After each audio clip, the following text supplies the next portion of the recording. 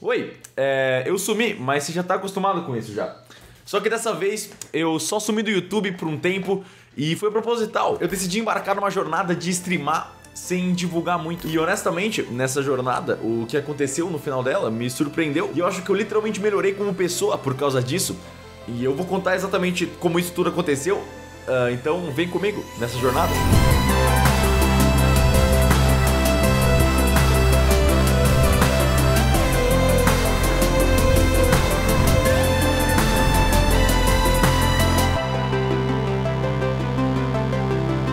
Essa história começa com um vídeo que eu fiz onde eu explicava por que, que eu gostava de assistir lives.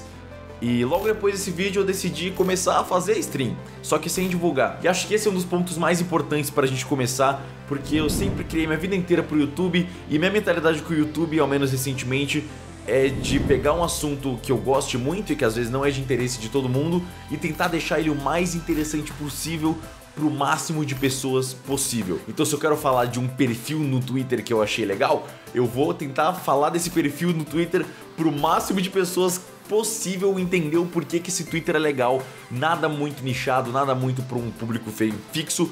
Para quem quiser assistir, eu tô explicando direitinho. Já quando eu decidi começar a fazer lives, eu decidi fazer algo para mim.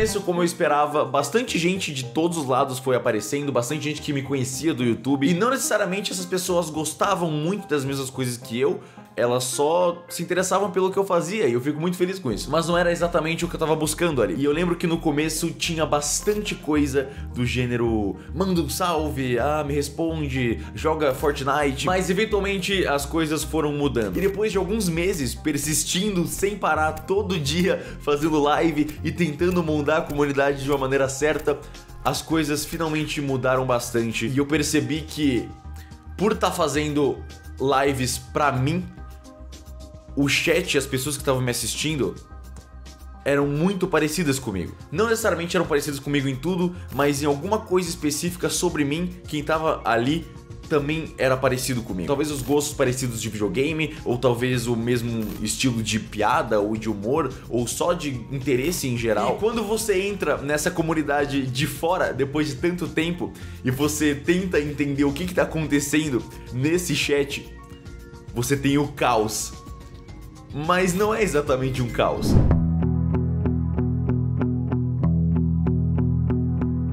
O ponto disso tudo é que a live stream inteira é uma grande experiência. E o principal ponto dessa experiência é que eu não quero que você assista. Live streams para mim são algo muito único porque não é sobre o que tá acontecendo na live em si, é sobre você estar tá numa sala com milhares de pessoas juntas com você. E participar disso não é você entrar no chat e tentar conversar com o cara que tá fazendo a live. É você fazer parte de uma rodinha gigante de amigos. Eu já mencionei isso antes quando eu só assistia lives, mas eu vou resumir um pouquinho agora.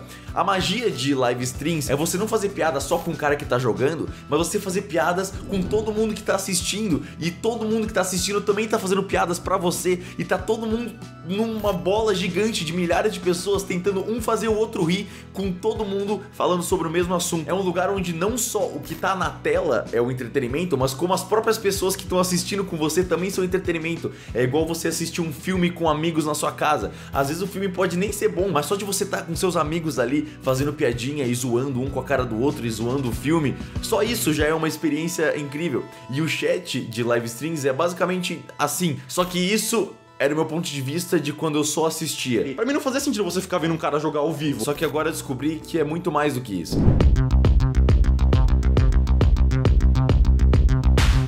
Eu descobri que o sentimento de você fazer uma live é muito, muito parecido com o sentimento de você participar de outra live de outra pessoa. Só que tem um bônus que é a pressão de que tá todo mundo olhando para você e você não pode simplesmente ficar largado na sua cadeira, você tem que fazer alguma coisa. Sabe aquele sentimento de ter uma piadinha interna com seu melhor amigo que você sempre, quando abre a oportunidade, você faz essa piadinha interna, você menciona esse acontecimento que vocês dois estavam juntos lá para ver. Aquele sentimento de você tinha que estar tá lá para entender. Não adianta se eu te explicar, não, você não vai entender se eu te explicar. A graça é que você tinha que estar tá lá para ver. Depois depois de vários e vários meses fazendo lives todos os dias e as mesmas pessoas voltando lá o tempo todo, virou meio que isso. Mas a experiência em si, todo mundo tava lá. Toda vez que acontecia algo muito impressionante ou muito legal, todo mundo tava lá. Tava todo mundo junto. Por exemplo, quando eu fui jogar um joguinho de enigmas e eu fiquei 40 minutos preso num cubo mágico 2x2 e o chat inteiro ficou me zoando sem parar por isso e virou um memezinho de eu não conseguir completar um cubo mágico. E essa é justamente a graça.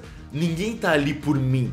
As pessoas estão ali comigo. Eles estão ali me zoando, eles estão zoando com a minha cara. Eles não estão fazendo piada para eu ler. Eles estão fazendo piada para eles lerem entre si e ficarem rindo da minha cara que eu não consigo passar. Toda vez que eu fico preso em qualquer jogo, o meu chat inteiro só fica rindo da minha cara, mandando oh no no no, ele não sabe. Eles torcem contra mim para rir da minha cara quando eu fico morrendo, mas quando eu passo de uma parte muito difícil, eles também comemoram junto igual um amigo. E em todos esses anos que eu faço conteúdo pra internet, eu nunca me senti tão próximo assim das pessoas que estavam me assistindo na internet. Porque a verdade é que eu não tô só sendo assistido. Eles estão literalmente criando coisas comigo. E o próprio chat cria vários memes zoando coisas que acontecem na live também. Toda live começa com praticamente uma hora e pouco da gente só conversando e vendo memes que o próprio chat criou ou postou no nosso Reddit zoando a live. É meio que um grupo gigante de pessoas só compartilhando coisas que eles criaram e que eles acharam legal e eles querem que o resto da galera veja também. E virou algo tão natural que quando eu tô jogando alguma coisa que é um pouco mais monótona ou chata,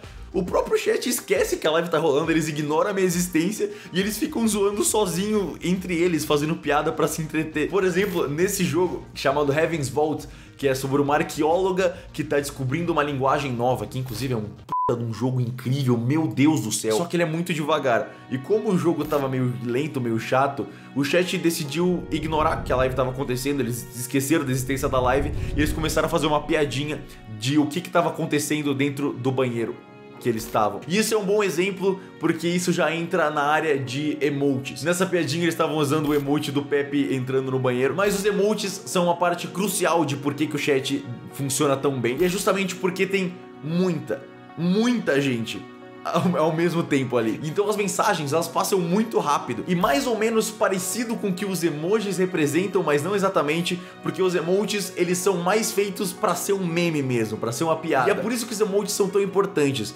porque eles representam algo engraçado e muito rápido que você não precisa ler. E é por isso que emotes bons representam uma mensagem muito melhor do que só um texto escrito. E ao contrário de emojis, com emotes você consegue criar mais memes e mais emotes em cima desses emotes que já são memes e não tem limite. Por exemplo, o mais comum que você vai ver esse é o PogJamp, que é um emote padrão da Twitch. E ele, obviamente, é para demonstrar quando você tá muito impressionado com alguma coisa. E aí, desse surgiu o PagJump, que é basicamente um meme do PogChamp para mostrar que você tá mais impressionado ainda.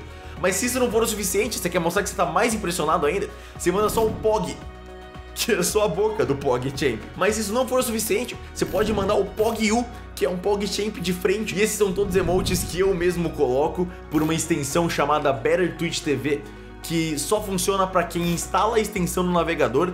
E aí você fica, nossa, mas você precisa instalar uma extensão no navegador para poder ver os emote meme Senão o chat fica assim. Você não vai perder muita gente, então, que, por exemplo, só pode assistir pelo celular. É, vou, eu, eu perco muita gente. Muita gente não me assiste porque não entende o meu chat. E é como eu disse, não é para ter números. Inclusive um dos emotes é só para quando o meu PC trava, porque eu não posso dar alt tab durante os jogos, porque senão trava tudo. Já é um meme conhecido no, na minha live, mas não mais. Chupa essa, chat! Já fazia um tempo que eu queria dar um upgrade no meu PC, principalmente por causa das lives agora, que streamar consome bastante do, do, do seu computador, e eu queria também poder jogar uns jogos um pouco mais pesados, alguns tipo Waze com, com chat nas, nas lives. E o PC já tava meio antigo para rodar muitas coisas, e ele tava com esse problema que eu não podia dar o tab absolutamente nada, porque a minha placa de vídeo tava muito suja e eu não cuidei dela direito. Então eu fui falar com a Nvidia, e eles entraram em contato com a Pichal também, e as duas se juntaram para fazer um PC maravilhoso, um verdadeiro PC gamer. E como sempre, para montar qualquer PC, a primeira etapa de qualquer configuração é você escolher a placa de vídeo. E a minha placa de vídeo vai ser uma GeForce RTX 2080 TI maravilhosa da Nvidia. Nossa, que beijo gigante pra galera da Nvidia. Muito obrigado. E um beijo maior ainda pra galera da Pichal que vai montar o meu PC bonitinho com todos os specs e vai mandar direitinho pra minha casa. Eu tô muito orgulhoso de estar trabalhando com essa galera, você não faz ideia. Você pode checar na descrição no site da Pichal o modelo do meu PC completo, se você tiver curiosidade sobre todas as peças. E também lá vai ter, caso você não precise de um monstro que rode absolutamente qualquer coisa, às vezes você quer jogar só uma coisa um pouco mais simples, ou você quer só fazer, não é nada muito pesado, igual o que eu pretendo fazer, você pode também, vai ter uma outra opção um pouco mais leve, se você quiser dar uma olhada. O que importa é, tem tudo que você precisa lá. Muito obrigado de novo pra galera da Pichel e pra Nvidia, que tá tecnicamente patrocinando esse vídeo e por ter me ajudado nisso, nessa etapa que é muito importante. É, eu tô muito feliz de, estar trabalhando com eles, são duas marcas que eu respeito muito. E eu tô muito feliz, tô muito feliz que eu vou poder dar alt tab no jogo, no Nossa Senhora! Nunca mais vão mandar cell lag no chat, nunca mais, chat, vocês vão me zoar por não dar alt tab nas coisas. Graças a todos esses memezinhos, esses momentos que a gente passou junto, um, acho que um bom exemplo que dá pra falar aqui, existe uma premiação chamada The Game Awards, que é a maior premiação de videogames do mundo. Uh, sabe quando o jogo é jogo do ano, o Game of the Year, que todo mundo fala? Então, é essa aí mesmo, é tipo é tipo Oscar dos videogames. Ano passado, durante o The Game Awards, rolou uma competição mundial, onde a comunidade que mais acertasse os jogos que iam ganhar os prêmios é, ganhava a competição. E em live eu streamei, eu, a gente conversou, a gente ficou zoando, fazendo piadinha, comentando qual jogo ia ganhar, fazendo nossas apostas. E no fim. O quê? O quê? Partnership over many years to really realize what this franchise o quê? A gente ganhou. O meu canal na Twitch foi a comunidade que mais acertou e ganhou do mundo inteiro. Apareceu até meu nomezinho lá na premiação embaixo do Jeff Keighley. Muito legal. E o que que ganhava com essa competição? Nada. Mas foi muito divertido, é o que importa. Não, não era realmente nada muito grande, era só uma competiçãozinha. Mas foi um momento muito, muito divertido. Foi um momento muito único. Foi mais um momento que alguma coisa incrível aconteceu. E esses momentos podem ser tristes, eles podem ser engraçados, eles podem ser incríveis, eles podem ser emocionantes. Eu, eu comecei a, a streamar, eu comecei a assistir lives porque eu me sentia sozinho às vezes. E em todos esses momentos eu tava lá, mas eu com certeza não tava sozinho. Por mais que eu tenha embarcado bastante nessa jornada de live, de autodescobrimento e uma, uma vertente completamente nova de conteúdo, o YouTube continua sendo minha paixão. Eu amo criar coisas, eu amo falar sobre as coisas que eu gosto e tentar deixá-las interessantes para todo mundo. Isso não vai acabar, Deus me livre, não, nossa, não precisa se preocupar. Uh, lives foram um, um, núcleo da minha vida por um tempo específico. Eu vou continuar fazendo live, mas eu também é, nunca abandonei nenhum projeto por fora. Tem muita coisa legal. É, eu tenho várias ideias que vão sair do papel, vão ser bem maneiras. Eu espero surpreender bastante vocês no futuro. Uh, mas muito obrigado por entender esses meus sumiços, uh, que são bem propositais, na verdade, para vocês também não enjoar muito de mim. Muito obrigado mesmo por ter assistido. Eu vejo você no próximo vídeo.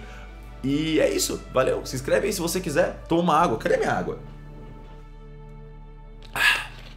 Fica bem. Até lá. Se cuida.